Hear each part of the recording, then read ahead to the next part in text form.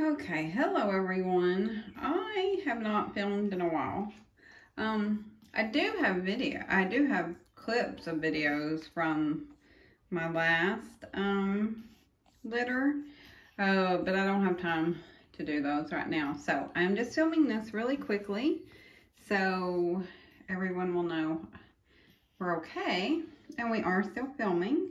Um, I had there. There should be four there are three kittens in this group right now, but there are four. One of them is at the vet getting his eye removed, her, it's a her, um, eye removed.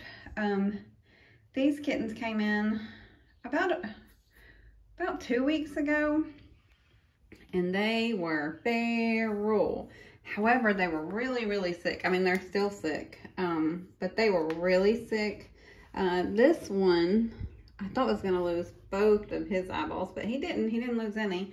Um, the one back there may still lose the left, but we're working on it.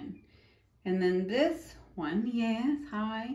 Um, eyeballs seem to be fine. Um, the left one's a little uh, iffy, but I think they're going to be okay.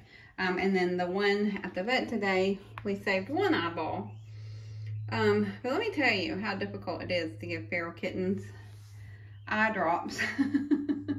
but we're managing. Um, and they are tolerating me now. Um, they're not biting. Uh, see, and almost all my old uh, wounds have healed from them. Um, but I got them about the same time that everything uh, happened. I, I just want to you to know I am not like ignoring everyone or disappeared. My mom is in um, the ICU, really the CCU, but whatever, um, on a vent. And she has been on a vent. Today is day 11. No, today's day 10 on the vent. Um, she's been in the hospital like two weeks, but she didn't go on the vent right away. Um, so between hospital, feral kittens, because I got these about the same time, but I couldn't not because they're big. You can't tell probably on the video, but these are bigger kittens than what I normally do.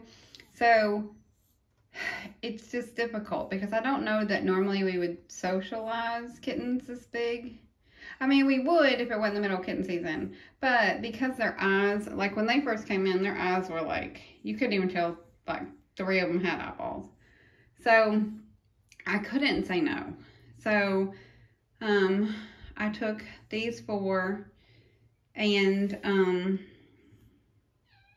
uh, I do have two more that had just recently came in. Um, one has really bad uh, poop problems and one uh, had mycoplasma. It's like a disease you get from flea and ticks. It's a, anyway, but she's on the mend. I finally got her to eat. Um, but I haven't filmed any of the new ones. Um, it's really hard to film because one, I don't know when I'll be here. Like I have to like really, I'm, I struggle to spend enough time in here to socialize and keep everything clean, do the hospital stuff.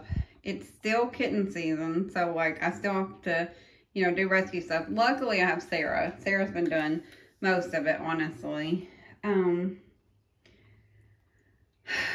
and then there's, yeah, I mean, there's other stuff, but that's the majority. So, I promise I haven't gone anywhere.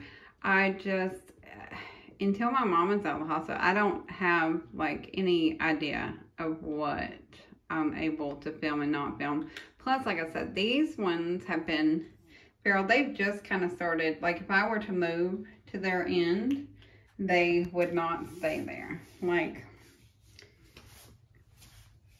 yeah. And they're like kind of the bitey kind of feral. They're not like the, um, it's okay. It's okay.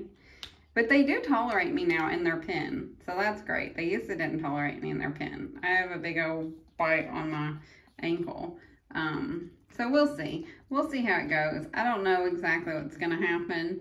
Um, but I do know that they are safe. And I love them. But they still have probably another week of med. They're on their second round of meds. They were really sick, like really sick. The Russian blue, I can't believe pulled out. But, you know.